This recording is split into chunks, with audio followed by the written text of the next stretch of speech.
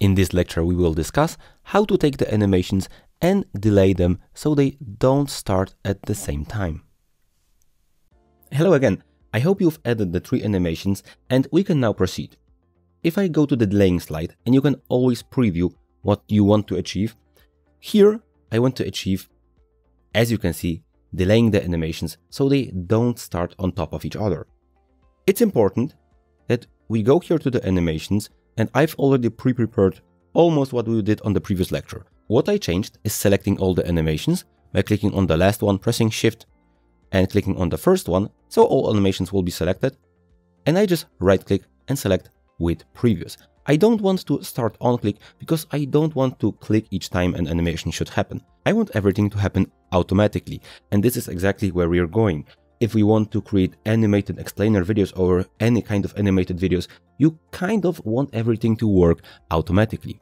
So I've selected start with previous. Start with previous is perfect because we can apply manually any type of delay we want.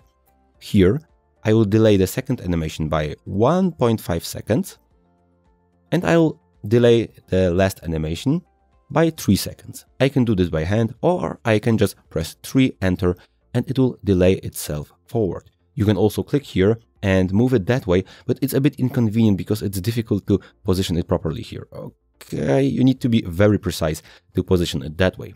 I have also extended their duration, but this doesn't have to be done. I've selected all of them again, and I can extend and reduce the duration of the entire animation that way. If I press Shift F5, you can see we have animation number 1, the pulse, and a couple of moments later, it flies away from the screen. This is what I want you to create in this lecture. I want you to select this object, open the animation pane, and delay the animations so they happen one after another, rather than without any delay where three animations would start on top of each other. Just open the bright blue slide and try achieving the same result.